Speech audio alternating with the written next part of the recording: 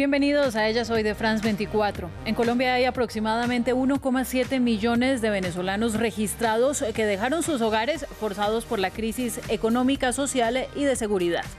Entre ese fenómeno y la pandemia aumenta la vulnerabilidad de las poblaciones desplazadas. Hoy vamos a hablar de un proyecto que busca ayudar. Con el apoyo de ACNUR, la Agencia de Naciones Unidas para los Refugiados, una diseñadora colombiana y una ilustradora decidieron recrear el proceso de la migración en confecciones de mascarillas.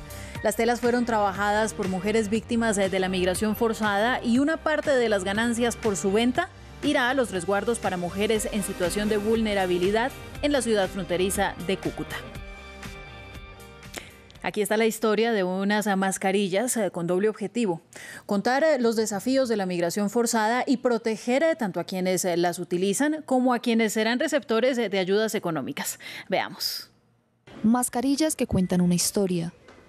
En la frontera entre Colombia y Venezuela, una decena de mujeres, migrantes venezolanas y desplazadas colombianas, hicieron parte de un proyecto que retrató su travesía, confeccionaron protectores faciales que narran en tres etapas el proceso de los migrantes que forzosamente tuvieron que dejarlo todo. Este tapaboca en particular tiene la representación, si ven la imagen, de que es un inmigrante aislado de todo, de su entorno familiar, de su casa, de su familia, de sus amigos, sin empleo, sin nada. Ahí está solo, no está integrado. Y están los otros tapabocas que es cuando ya se integran.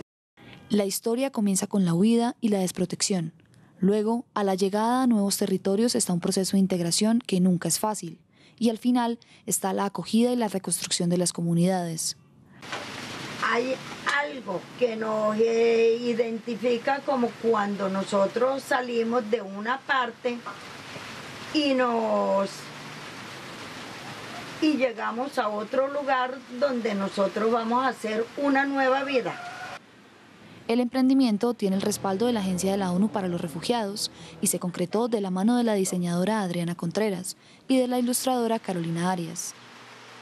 Queremos con estos productos favorecer la empatía y solidaridad en cada uno de los contextos donde los migrantes, refugiados y desplazados trabajan eh, por su integración y por reconstruir sus vidas.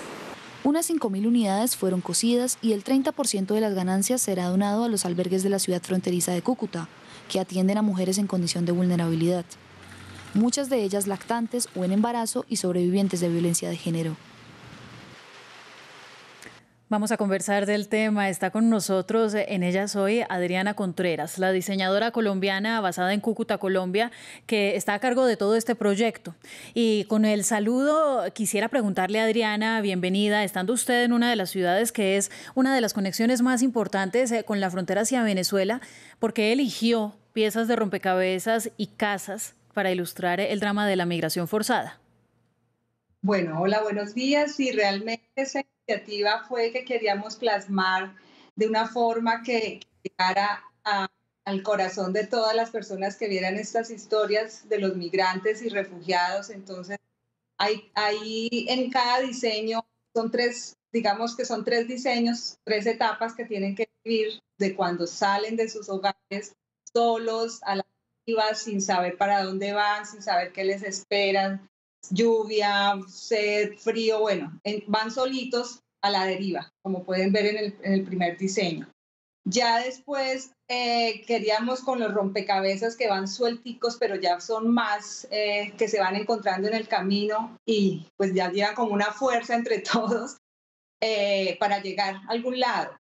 Hasta que encuentran en algún momento, en este, en este caso pues en Cúcuta, que hay varios centros para, para los migrantes, eh, sienten un poquito de, acogida. Entonces ya digamos que esa es todo, toda la historia que queríamos plasmar, en estos tapabocas, la, historia de vida de que tienen que dejar atrás tantas cosas eh, y fue la, realmente fue muy bien eh, recibida estos, estos, estos diseños.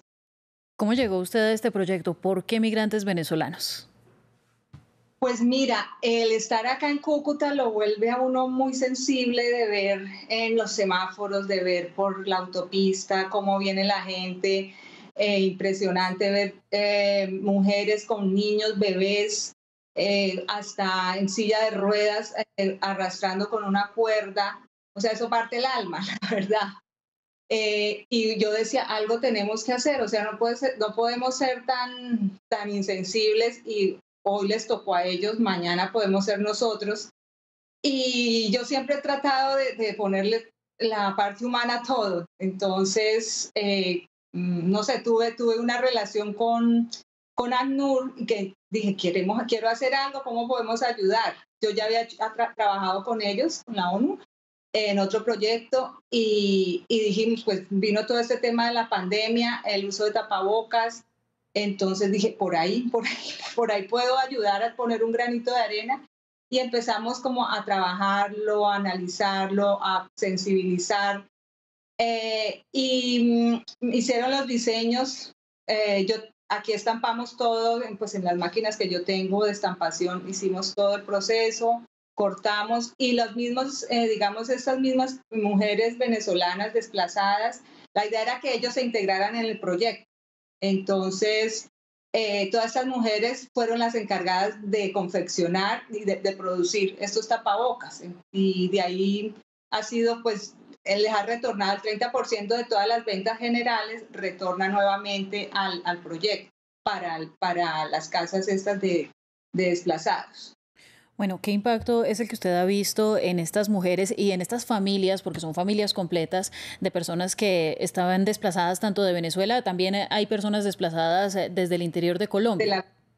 sí, sí, también ellas, pues no, eh, ellas muy entusiasmados porque, digamos, ven ahí plasmado su historia, su historia de vida eh, y ven la, esperanza a donde pueden llegar. Esto les ha generado a ellos ingresos y de una u otra manera, pues han podido sobrevivir y, tener un nivel un poquito más, más seguro, ¿no? Eh, la idea, pues estamos empezando este proyecto que es muy lindo y quisiéramos, pues, que dependieran casi totalmente de, esta confección, de este trabajo.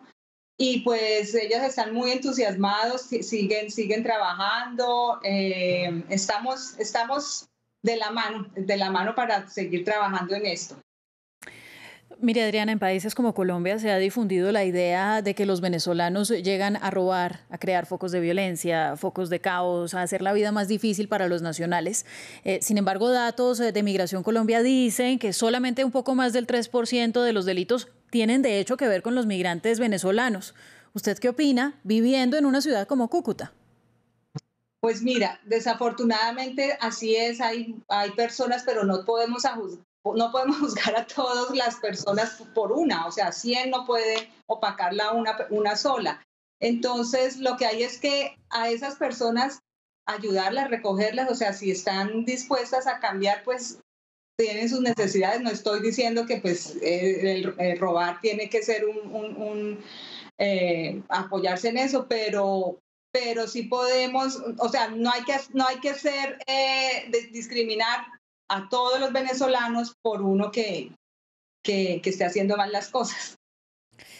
Bueno, y ya para finalizar, eh, quiero preguntarle cómo ha sido la venta de los tapabocas, qué tanta acogida ha tenido en el tema monetario, cómo y dónde se pueden comprar si alguien que nos está viendo está interesado en apoyar esta causa.